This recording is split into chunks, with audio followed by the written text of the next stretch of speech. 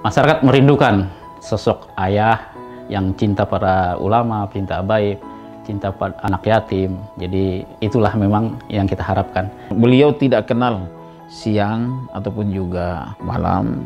Beliau selalu bersilaturahmi menyapa warga masyarakat Kabupaten Tanah Bumbu. Anak muda milenial kalau dia memahami sendi-sendi agama maka akan memilih Fajrullah. Kita cara pandang kita sekarang jangan sekularisme tapi ber, berpandanglah secara agama yang sebenarnya. Beliau itu seperti apa ya? Seperti orang tua, menganggap uh, yang muda seperti uh, anak sendiri. Yang sebaya dengan beliau seperti saudara, yang lebih tua dari beliau, beliau menganggap orang tua beliau. Nah itulah adab-adab yang dulu uh, beliau terapkan di tanah bumbu. Beliau tuh selalu memperhatikan tentang keadaan-keadaan lembaga apa pun segalanya itu beliau untuk memimpin tanah bumbu beliau itu sangat bagi kita figur yang cocok untuk beliau.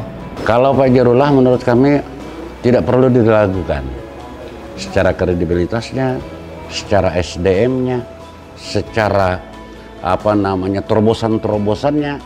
Kalau beliau ini sosok figur yang benar-benar bisa kita teladani karena beliau bisa menjadi seorang ayah dan bisa menjadi seorang uh, pemimpin yang mempunyai akhlakul korimah yang baik yang bisa kita jadikan sebuah teladan. Remaja-remaja sekarang sangat menginginkan kehadiran sosok ayah.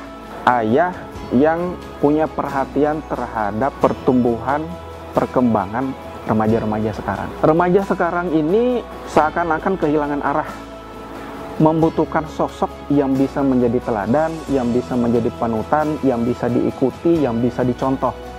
Dan itu hanya ada di Zerul Ashar.